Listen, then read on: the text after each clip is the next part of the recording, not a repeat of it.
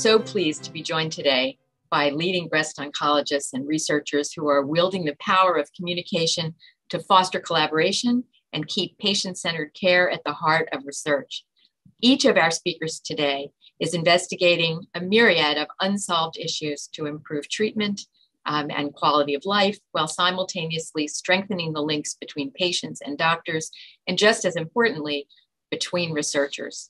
So it's my pleasure to introduce um, each of our panelists this morning and to begin with Dame Leslie Fallowfield, who um, is this year's Jill Rose Award winner. Dame Leslie.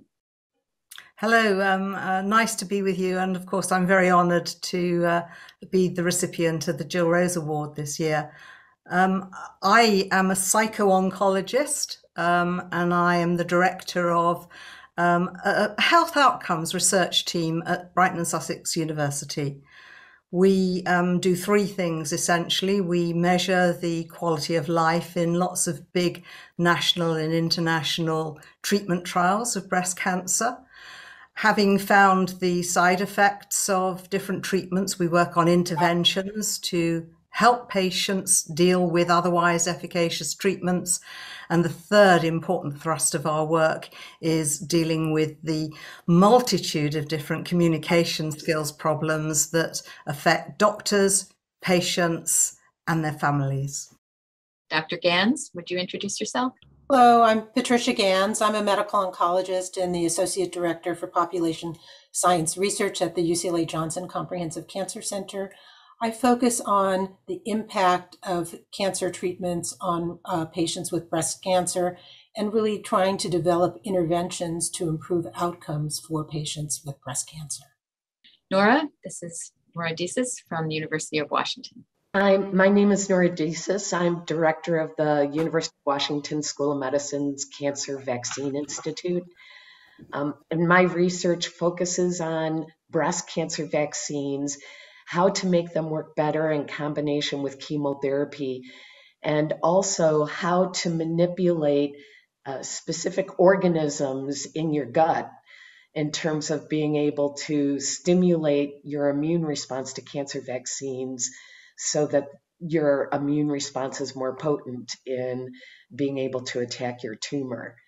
Um, it's very important in terms of looking at um, different parts of the immune system, of which our gut it, uh, is one of the major immunologic organs in the body, in terms of the balance of the immune system in attacking cancer. Nick? Hi, my name is Nikhil Wagle. I'm a medical oncologist and cancer researcher at Dana-Farber Cancer Institute in Boston. And my work focuses on um, understanding uh, the biology of metastatic breast cancer in particular to try and develop new uh, treatments and treatment strategies. And this work is largely done through partnering with patients to enable patients to share their clinical information, their tumor samples, and their voices and experiences with all researchers to try and accelerate this process. I also run um, a research initiative called Count Me In. And Count Me In is a program that allows patients across the United States and Canada uh, to sign up to participate in research regardless of where they live and it allows them to share their medical information, their tumor samples, their other biospecimens, and most importantly, their voices with cancer researchers um, to be able to accelerate uh, the research process and accelerate discoveries. So thank you, Nick. So this is a very high-powered panel, and they're all thinking about issues in communication and the critical nature of that information for our patients and for the physicians and researchers in the community. Part of our job is to make sure this is a BCRF role too, to make sure that we are making information available that might accelerate progress in research. Dame Leslie, I wonder if you could speak to us a little bit about your concept of the really important issues in patient doctor communication, just ways that that you think that that work has helped to make us all better at it. What are our patients thinking about? It's a really um, important thing, isn't it? Communication, because in the course of a clinical career spanning, if you're lucky, about 40 years, a doctor is likely to conduct more interviews with patients than they are to do any other procedure. Yet, if you contrast the amount of time that's given over in medical school to teach people things that they'll never do with the core communication skills that they need to achieve their work, you see why we've sometimes got a problem. It's not because doctors aren't nice people. Most of them are just wonderful. It's just that many of them are unaware of the types of ways in which their communication hampers understanding and good shared decision making. So, one of the things I, I, I guess I always start with is that um, it's very difficult to have a genuine two way exchange with people if one person holds all the power through knowledge. And so the first thing you need to do is to help people try and put complex information into understandable terms that is non patronizing. And that is a skill in itself. A long time ago, when I was completing my PhD, my supervisor wanted me to do a talk, and I left out a whole big chunk of it. And he said, Well, why have you left out one of the most pivotal parts of your thesis? And I said, Well, it's far too complicated to explain to the audience.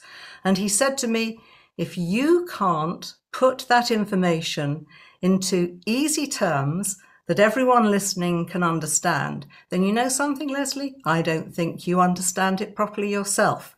And so I think sort of trying to get people to develop a repertoire of skills to explain complicated things in simple but non patronizing language is probably one of the first things to teach everyone. Thank you. That sounds like a very important lesson for us all to learn. Patty, you've worked in this field as well, and you've led the development of instruments for patient reported outcomes and made asking the patients about their experience part of many clinical trials. Do you want to speak to that issue? I, I think it's so valuable to get the patient's input on anything that we do. And in fact, before we even start many trials today, we either do individual interviews with patients or something that we call focus groups where we ask them not only, you know, what's most important for them, but how feasible the trial might even be, you know, to do. Because if we offer something to patients and it's not possible for them to participate in, in it, or if they don't understand the motivation for the study, it's really very difficult. But what's been very, um, really gratifying for me is that much of the research that I've done, whether it's been on fatigue after breast cancer treatments or cognitive difficulties or depression, um, not only do I do that research and publish my data, but then I'm able to give it back to patients in the clinic and really the interventions that we study to make them more widely available. Um, we, we publish our papers, but then to be able to get it back to the patient is really very important. And so I think there is a gap that occurs between the scientific publication and the dissemination. And that's something that I'm really um, wanting to do now in this very latter stage of my career is, is getting it back, getting it delivered to patients. Thank you. You know, I, I, I think to today it, it's really inconceivable that we would do research without asking patients and without trying to explain to patients what we're doing. But what we have to explain has certainly become more complicated. Judy, I wonder if I might add one thing here, which is that um, yes, we're focusing here on the dyadic, the two way exchange between doctor or nurse and a patient. But of course, the delivery of cancer services these days has become a serious team business. We have increasingly multidisciplinary teams, all of whom have a role from their specialty in discussing things with patients. And one of the things that some of um, my team's work and others have shown is that very often these teams are not on message. They, they sometimes don't even know each other very well. They give patients different sorts of sometimes quite contradictory or inconsistent information. And given that many patients actually do start from a background of fear and anxiety, if you hear different messages from different people, that's not going to help again in making sensible decisions about your treatment. So I think one of the things we need to also think about is trying to increase the um, continuity um, between multidisciplinary teams when they're talking with patients. That is a really excellent point. Dame Leslie, how has the pandemic affected this? I would be concerned that you know, we, we all seem busier than ever. It's harder and harder to get these teams together. If we're not being consistent, I don't know if that's part of the problem. But aside from that, what are you are you seeing an effect of dealing with COVID on communication in these issues? I think this is a really, really important and increasing issue for us all to have to come to terms with and deal with. I, I guess within um, many countries, sort of remote consultations have become part of the scene anyway, if you live in very rural districts, for example. But people aren't really used to communicating in this way. It's very hard to have um, the sorts of easy exchanges because only one person can talk at a time. Now, one of the problems from a patient's point of view, of course, is that if you are actually a clinician meeting a patient remotely for the first time, we know that you do need to get lots of visual cues from your patient as to are they sort of receiving this knowledge with um, obvious understanding, with fear? You can, from facial expressions, you can actually tell sort of whether or not you're pitching things correctly. So I think it's a whole new way of um, actually sort of uh, communicating with each other and with our patients. And we need to start some serious training in it because I fear that this is going to be a thing that we're all just going to have to get used to more and more. So, Nick, count me in wouldn't be possible if it weren't for some of this technology. Where do you see that going for projects like yours? Even before the pandemic started, the idea behind Count Me In was to be able to let people participate in research even if they didn't live next to or near the big academic center or in a big city and and it, by necessity, it takes advantage of all these technological innovations, things like social media and email, and allows people to participate from wherever they are. And during the pandemic, it's allowed people to participate in research from their own homes without having to go anywhere. And I think that will continue on. It's to be able to use the, the whole spectrum of communication tools to educate patients and then also enable them to participate in research will just make things more accessible. It will allow more communities to participate. It will allow more diversity um, in research participation. So um, obviously, I want the pandemic to end as quickly as possible, but the use of many of these tools um, will continue, and I think that will be overall a net benefit for, for research and communications.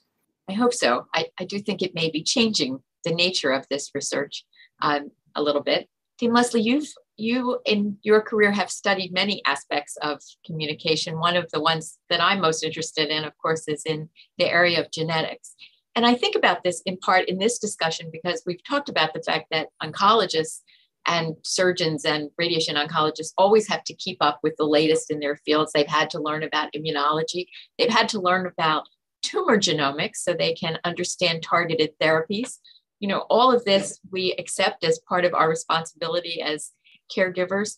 Um, inherited genetics has been a little bit different, and you ventured into those waters. Do you want to talk a little bit about about communication skills there? Because I, I have to say, I assume that we're we're all testing more and more of our breast cancer patients, not only when they have advanced disease, but at diagnosis. And it's a piece of our thinking that maybe we don't spend as much time on.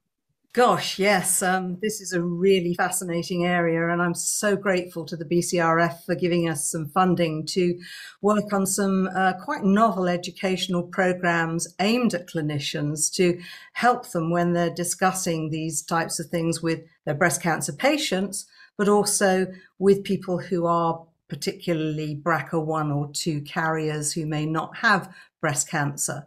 Echoing some of the things that other panelists have just said, what we did to start with was um, talk to lots and lots of BRCA support groups about the sorts of issues that had caused them difficulties when they were coming to decisions about whether they should have further risk reducing surgery or take some preventative chemotherapy, whether they should stop their HRT, whether they should have their ovaries removed, all the sorts of myriad of things that people need to consider we then talked to surgeons, oncologists, nurses, geneticists, and genetic counselors to find out where their problems lay.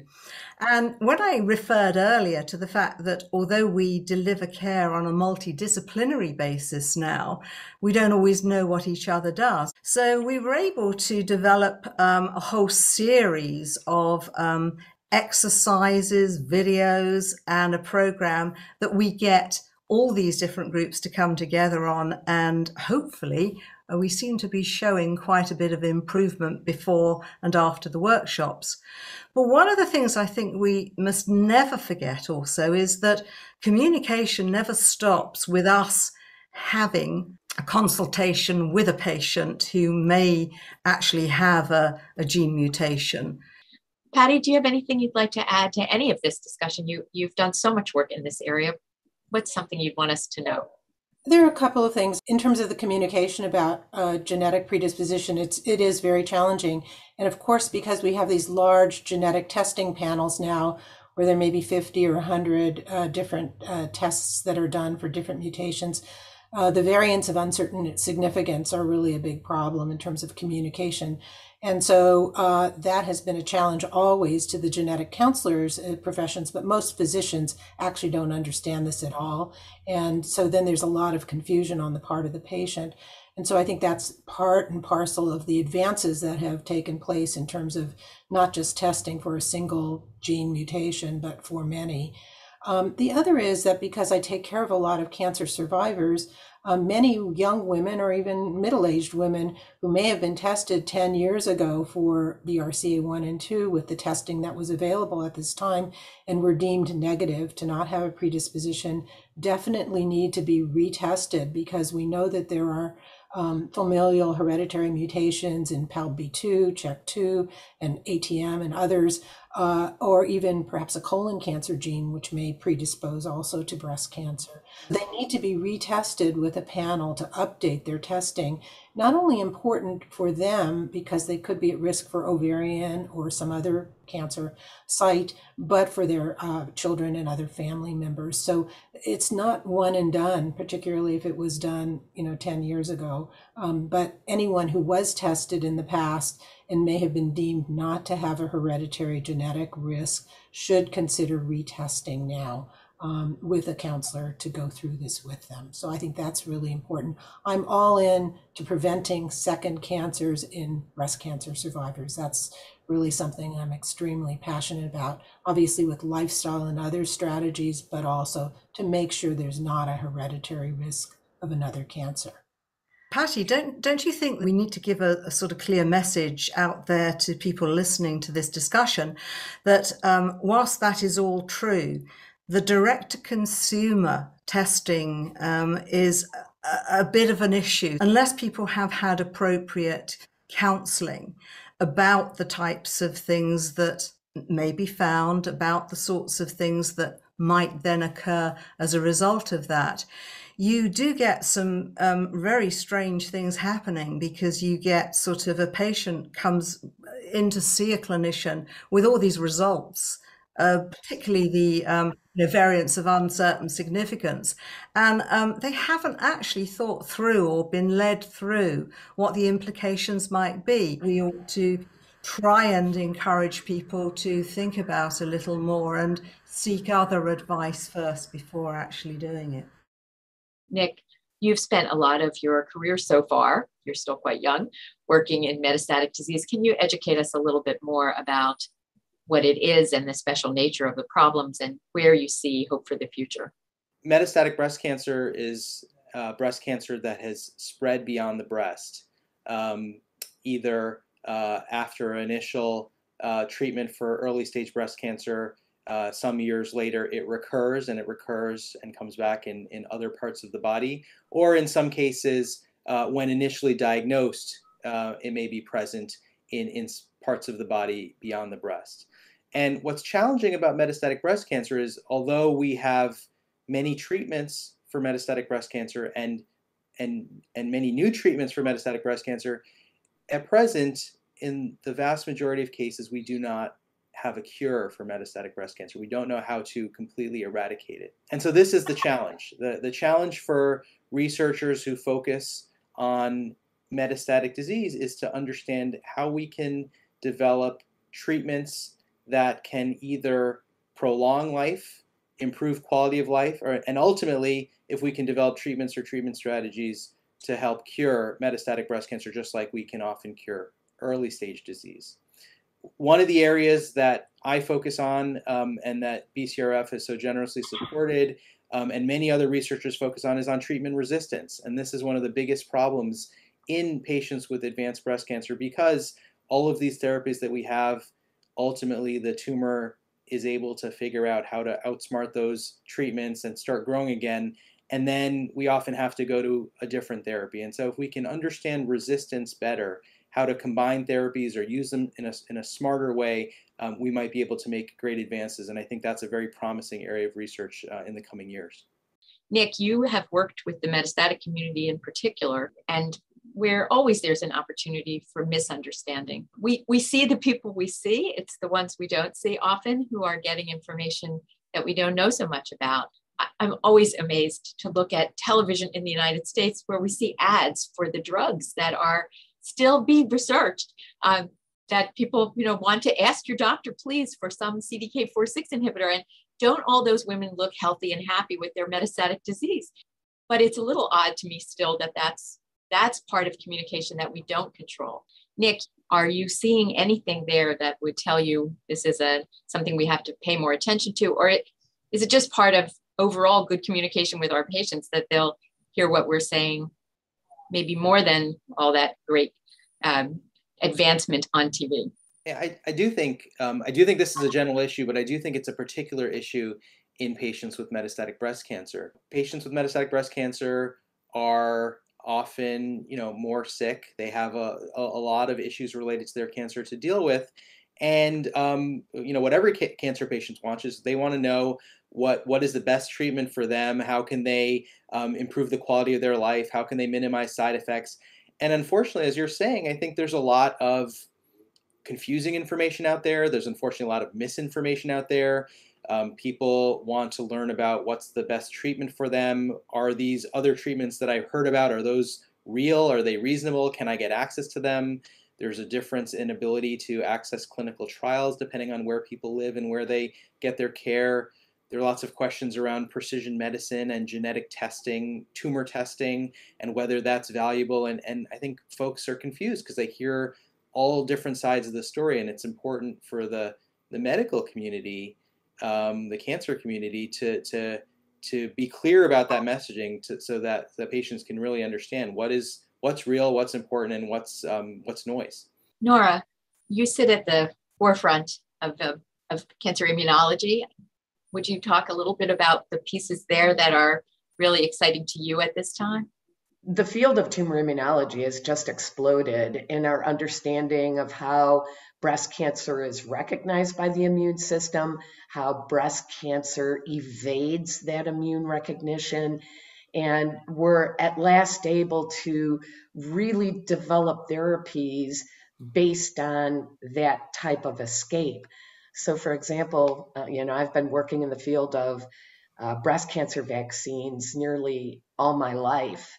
And the technology of vaccines has advanced to such an extent that we can now routinely immunize breast cancer patients, get high level immune responses. And we're really understanding how those immune responses can synergize with chemotherapy. It's opened up a completely new world of giving breast cancer vaccines as part of standard therapy, as well as um, the development of different combination immune therapies.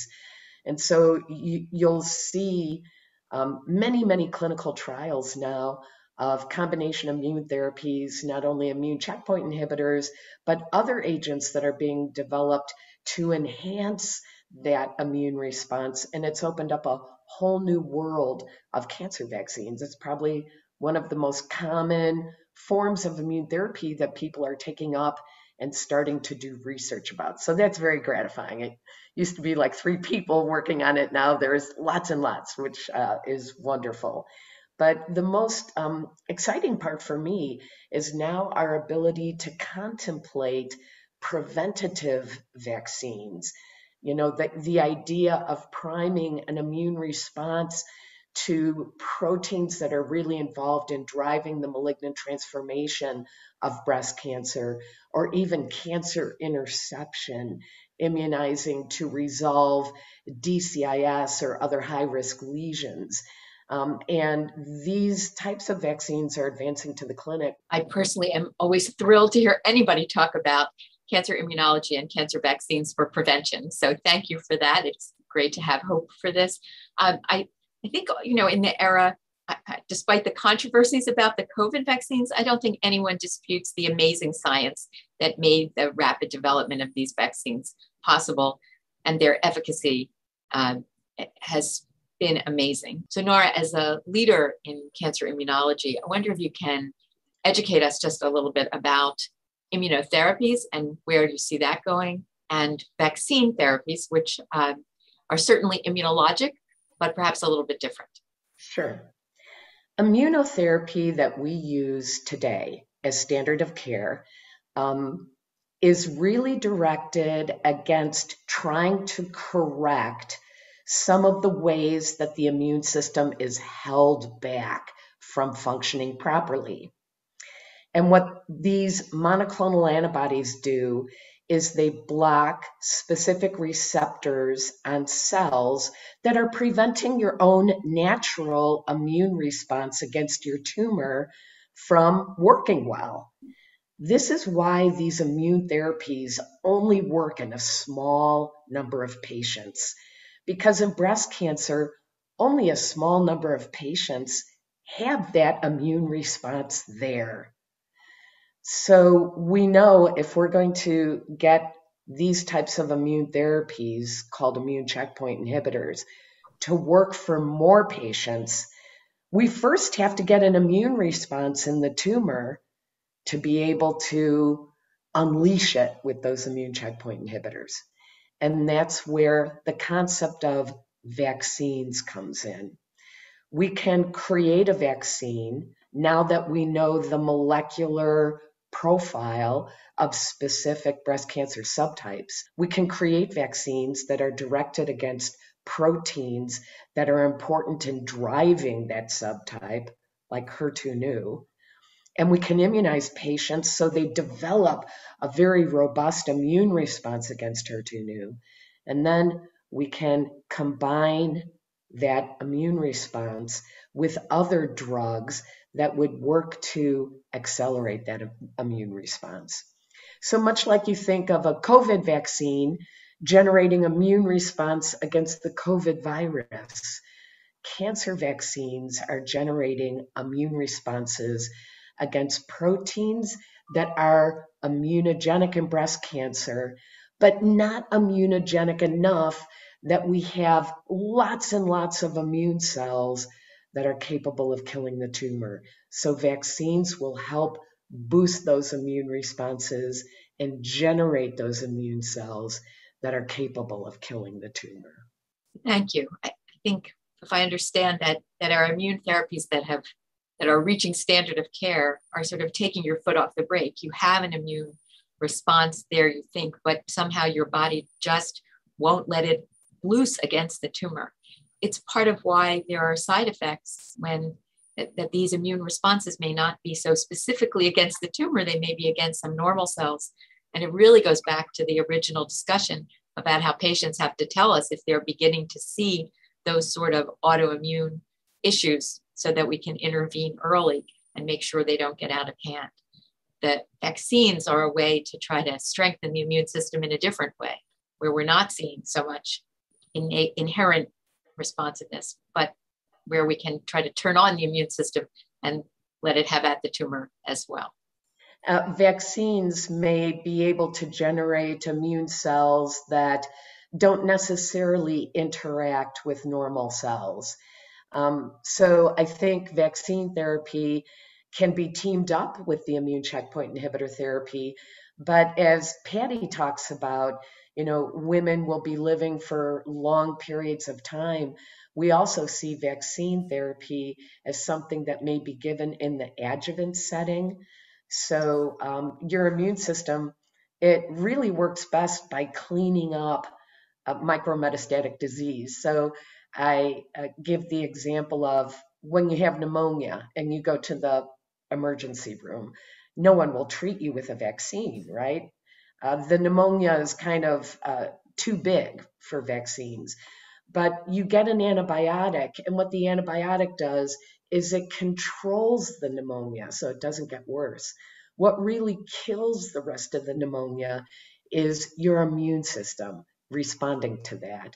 So I think we're going to see more cancer vaccines um, going into the adjuvant setting along with chemotherapy, where they'll work in concert with chemotherapy. We now know that many chemotherapies themselves have immune stimulating properties. We used to think um, chemotherapy always dampened the immune system. Now we know it doesn't. And give you a vaccine that will stimulate your immune system to recognize your cancer.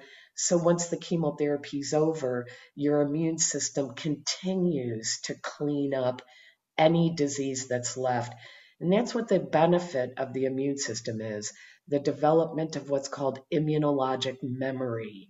So that years from now, if the cancer begins to come back, your immune system will automatically activate. And what's different about um, looking at using things like cancer vaccines now is we have stronger vaccine technologies. We know what proteins are immunogenic and important in many breast cancer subtypes.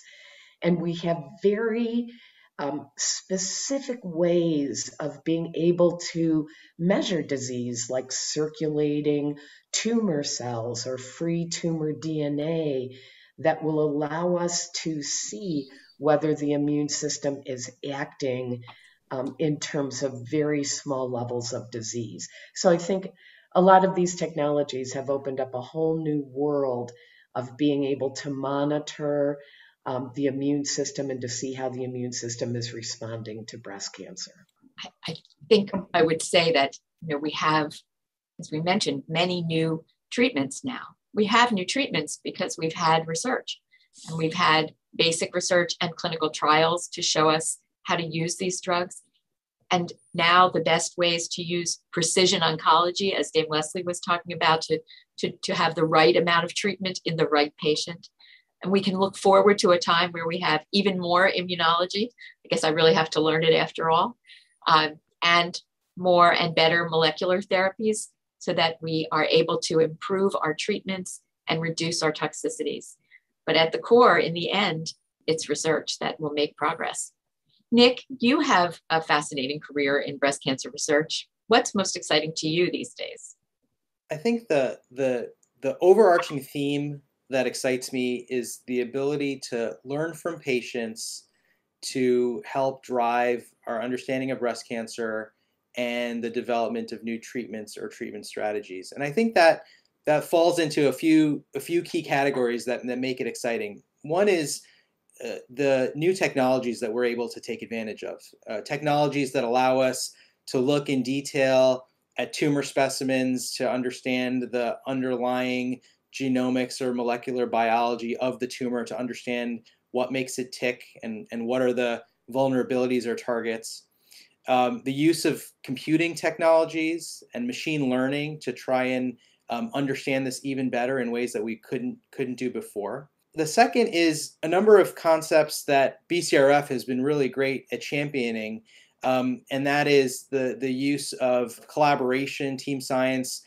open data sharing, and transparency that really allows us to pool data and increase numbers to be able to see patterns in ways that we couldn't do before. And that's one of the ideas behind Count Me In is get as many people as possible to sign up and share their information so that we have huge numbers that we can learn from. And that's only um, possible uh, more recently with some of these approaches that, that we've talked about. The third is um, combining all of that technology um, and open data sharing and numbers with information that, that only patients have, right? You know, the what we've heard earlier from other panelists about patient reported data and information that only patients can tell you. You couldn't learn by looking under a microscope or you could learn uh, from a medical record, but you really have to learn by asking patients. And it's the integration of that information with the detailed biology that we can learn that I think is going to yield um, really important um, important information for the advancement of, of, uh, of breast cancer treatments. I'll add one other thing which is exciting to me, which is all of these approaches I think give us the opportunity now to um, improve diversity and inclusion in our breast cancer research in ways that we really have not done a great job of before.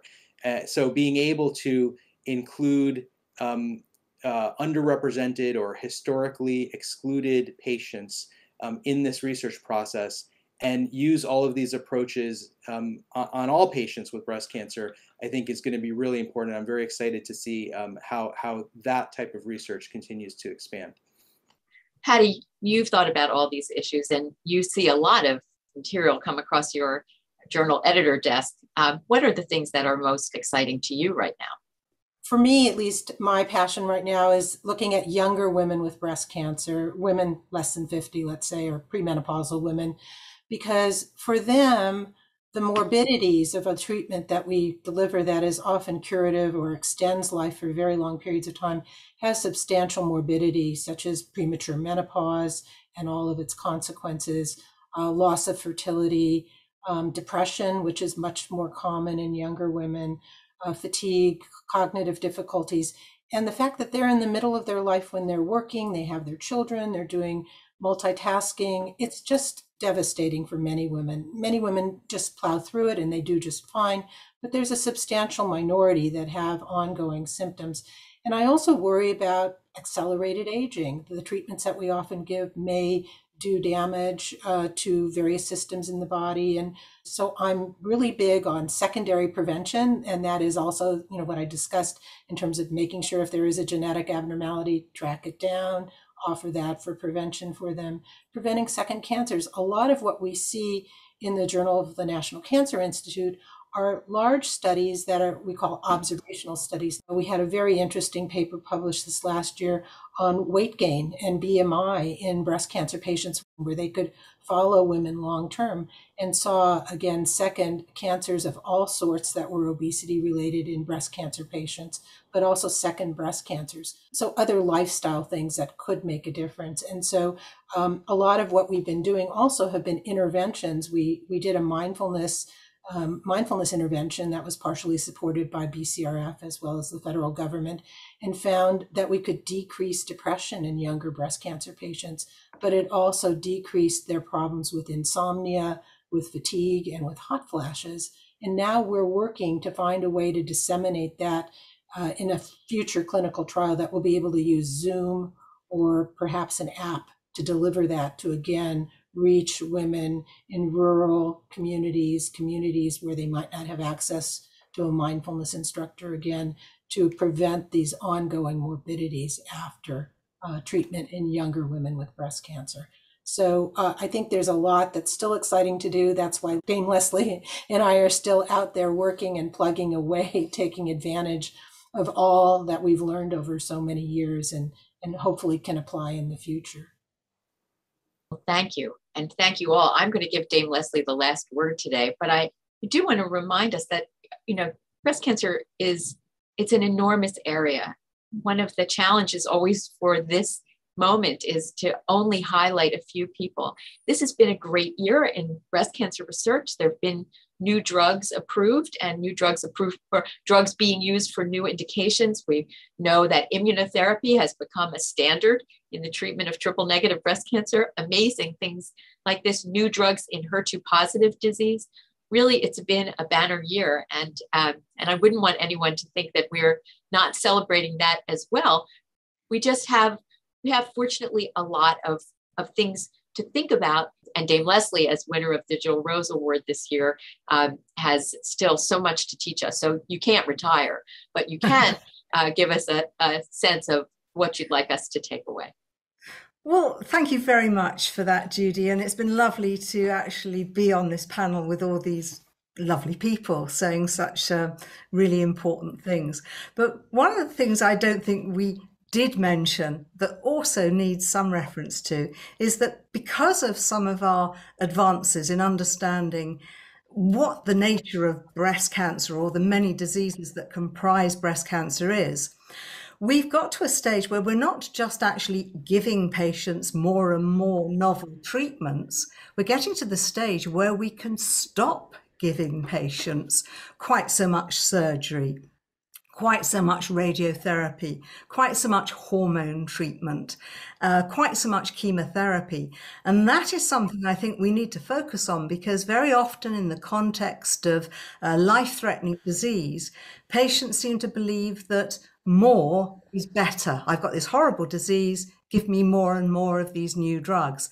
And so, one of the communication issues we've got given that we now know so much more than we did a decade or so ago, is to help people believe that sometimes less is more. And um, I'm just very grateful that the BCRF has actually enabled so many people, so many great basic scientists, clinical scientists to contribute so much to our knowledge of probably actually fulfilling Evelyn Lauder and Larry Norton's original dream of trying to cure breast cancer. Thank you. I couldn't possibly have said it better. Thank you all so much for your time, for your insights and your thoughts today. Um, and thank you to BCRF, as always, for making this possible.